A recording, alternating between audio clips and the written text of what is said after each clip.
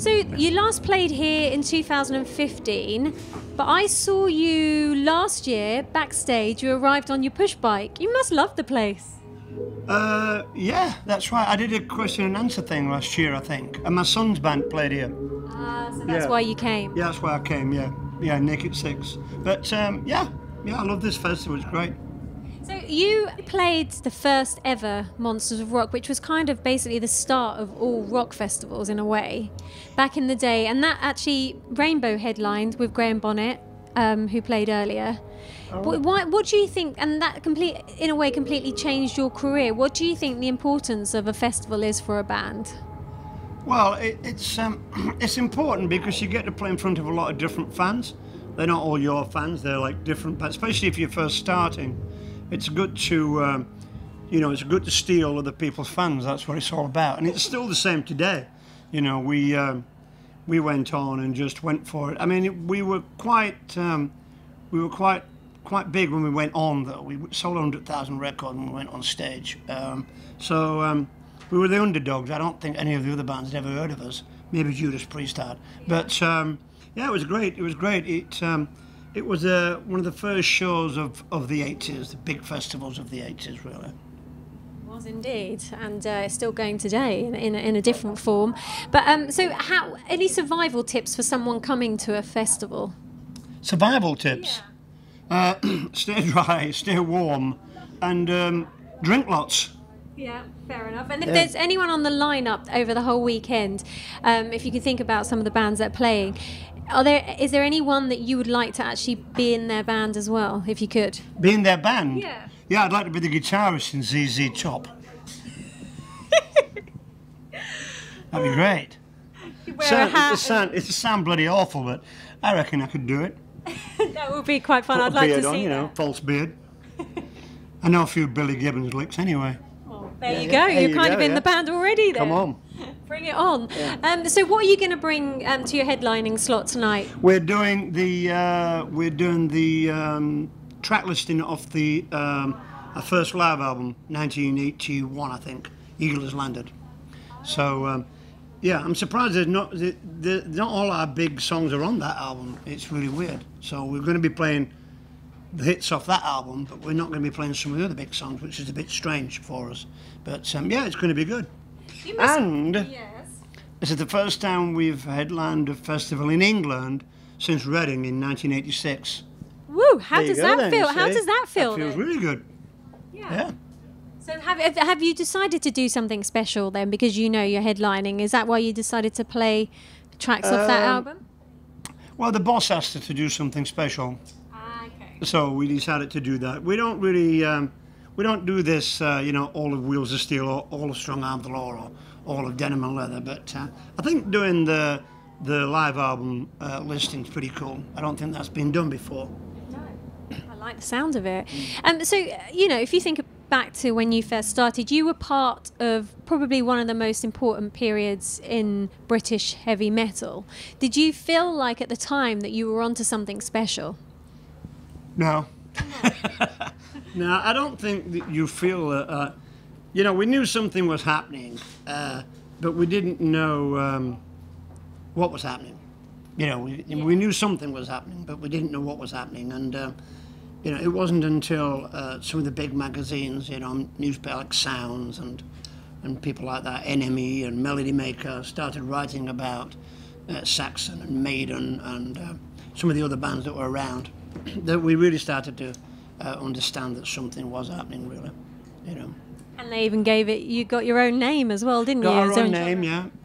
New wave of British heavy metal, or Nibwom, whatever they call it. Yeah. Wobbum. Wobham. It's like It's the funny name, ridiculous isn't it? thing I've ever heard in my life, but there you go.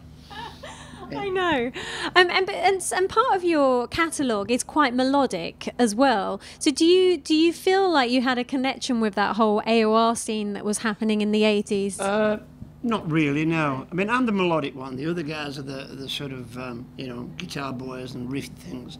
Um, you know, I like, I like the thing is, it's a fine balance because if you got too melodic, you sort of uh, like, you know, you, you sort of wimp out a bit. And if you got too heavy, you're, you're, you're into sort of, you know, other bands' territory, like Metallica and things. So it, you have to stay sort of somewhere in between because, because we were, You know, because we, were s- s- started in the 80s, and the songs are heavy, but they're quite melodic. Uh, the early albums were a mixture of, of, of heavy metal and sort of, uh, you know, rock. So we try and stay the same now as we were in the 80s. Because I think we veered away a little bit in the late 80s and turned a little bit more melodic. But I blame the guitarists for not writing the riffs. yeah, there you go. There you go, exactly. You're going to get me later.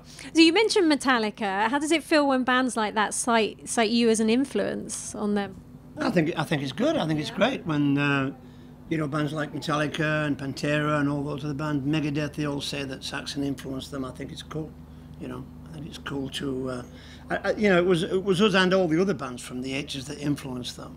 You know, we meet bands all the time, especially in America, that grew up in the 80s. You know, and they're they're highly influenced by that whole movement there. You know. Exactly.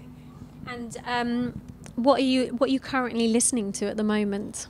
Um, my son's band, really. Nothing much. Yeah, uh, nothing much. Uh, I'm listening to. Uh, I'm going to listen to one of these albums later. Yeah. So what? So Thin Lizzy. you are you like a big of Thin? Thin Are you a big fan of Thin I Lizzy? like Thin Lizzy. I, I knew um, Thin Lizzy quite well. I can imagine you sort of hung out with those guys. I did. I used to hang out at Stringfellows with Phil Lynott.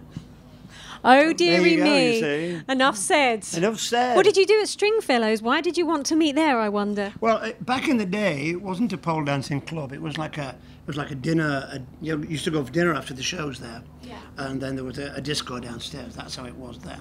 Oh, So it was pretty good. You know, we used to go and pick up birds, as they said back then. Incredible stuff.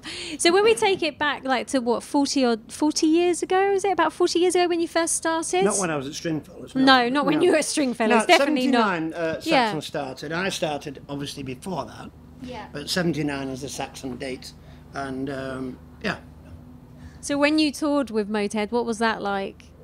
oh, fantastic. Yeah. Yeah, we became friends and uh, stayed friends for you know forever really. First impression of Lemmy? Um, stunning sense of humour, Lemmy. Me and Lemmy got on really well 'cause we we had the same sort of uh, we had the same sort of wit, Yes. very dry and slicing. You're not dry, are you? Yeah, it can be. Never. I Not like since it. Lemmy died, no. Yeah. I bet you, you miss him. I do miss him. Yeah, I do miss Lemmy. We used to chat a bit on, uh, on texting and things. Yeah, I do miss him. Yeah. Sure. What's your secret obsession? A secret to what? Obsession. Um, I don't think I've really got one. I do tend to collect guitars when I'm in America. Only when you're in America. Yeah, Why? because they're cheaper there. and there's more of them. You know. Is there? But yeah, I quite like some of the rare, rare, you know, not like really rare that sort of like Billy Gibbons plays, but um, sort of like odd makes, you know, that you find Hmm. In junk shops and things. So you're not I found two when I was there last time. Great. What What did you find? Oh, you wouldn't know. Hmm, I might do. All right, Silvertone. Yeah, I know that one. Yeah. For like eighty dollars. That's good. That's not bad. So, what interests you in a guitar? Is it obviously the way it sounds? The guitar. Yeah, like as in if you're Uh, looking, if you're you're guitar hunting. Yeah, well, I like I like to hear uh, the way they sound. Yeah, but I also like them because they're sort of, um, you know, built in an era, in a, a- you know, that's not around anymore. Mm. I mean, pretty soon there's going to be no rosewood finger fingerboards or maple necks because it's all going to be, um, you know, put on the Yeah. on the rare list. So Mm. people should buy these um, weird guitars while they can. Well, listen, I'm going to let you go. Get ready for the show tonight. Mm. Thank you for I'm chatting ready. to This us. is, I'm ready. This is me. you're you're just going to rock on up. yeah, well, I'm you here look good. walking on like this. I like it. It's a good look. So why not? Mm. Excellent. Thank Yeah, you. All have a great time. Drink lots of beer. Fantastic.